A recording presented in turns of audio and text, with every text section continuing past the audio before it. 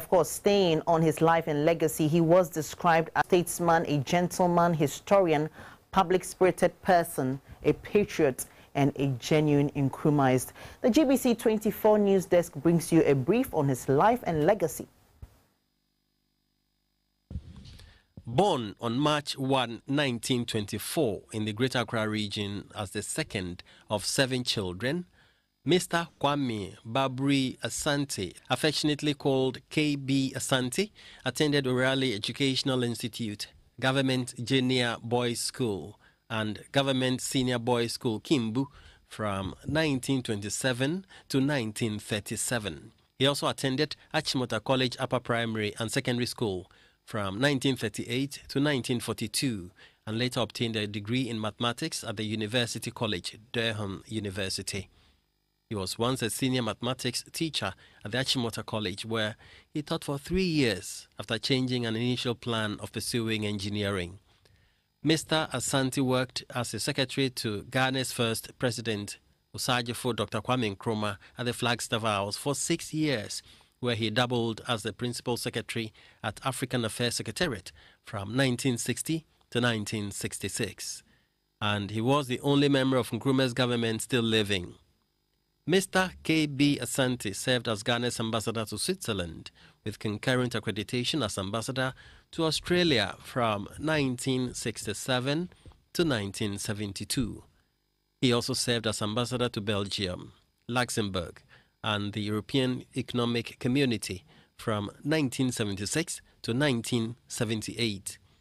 Mr. Asante retired from the civil service in 1978 to form the Social Democratic Front to contest the 1979 elections. His party won three parliamentary seats. He was the Secretary for Trade and Tourism in the PNDC administration in 1982 and later Secretary for Education and Culture from 1986 to 1990. Despite his mathematics background, he's a very good writer he has had a long association with the Daily Graphic as one of its most prominent columnists. Mr. K.B. Asante died on 22nd January 2018 at the age of 93. He is survived by a wife, Matilda, and four children. Meanwhile, the founder and general overseer of the Overcomers International Bible Church, late Bishop Dr. Benjamin Ako Harrison, pioneer and host of the GTV religious program Start Your Day with Jesus, has been laid to rest in his hometown Winneba in the central region. Bishop Dr. Benjamin Ako Harrison was born on December 12, 1967, at Achimda in the eastern region to Bishop David Yao Ako Harrison and Madam Vincentia Infojo, both of blessed memory.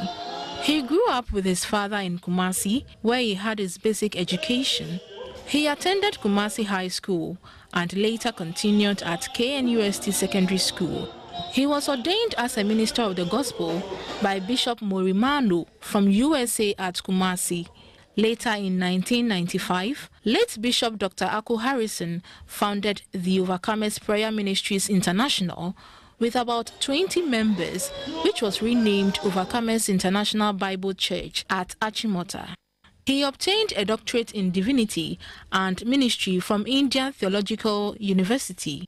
Again, he had a PhD from the Apostolic Assembly Seminary, USA, and an honorary doctorate from the Global Harvest Bible and Leadership Institute, Ghana.